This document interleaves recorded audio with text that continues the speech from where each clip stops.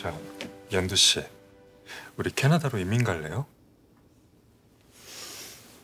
태경 씨가 가자고 하면 어디든 갈 거라고 했잖아요. 근데 왜 캐나다예요?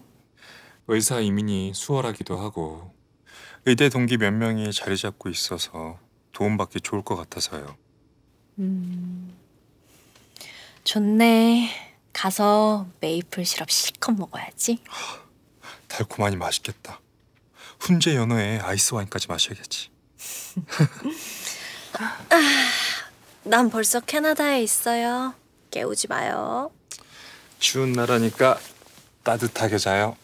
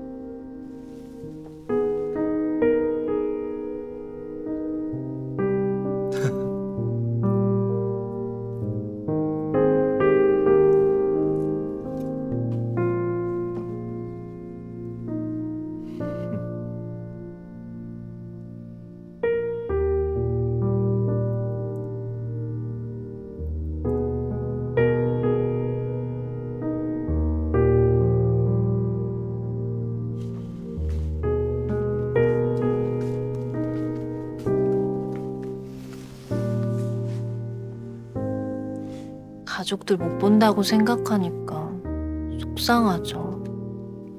아니에요. 그냥 잠이 안 와서 나와 본 거예요. 나한테 자장가 불러달라고 하지. 아서요. 겨우 재운 하늘이까지 깨울 거예요? 뭐라고요?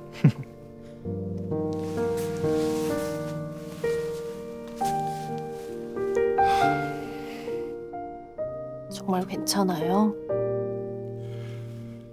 우리 한국 떠나면 연두 씨도 가족들 못 보게 되잖아요. 내일 장모님께 말씀드리고 허락받고 올게요. 우리 기쁜 마음으로 떠나요.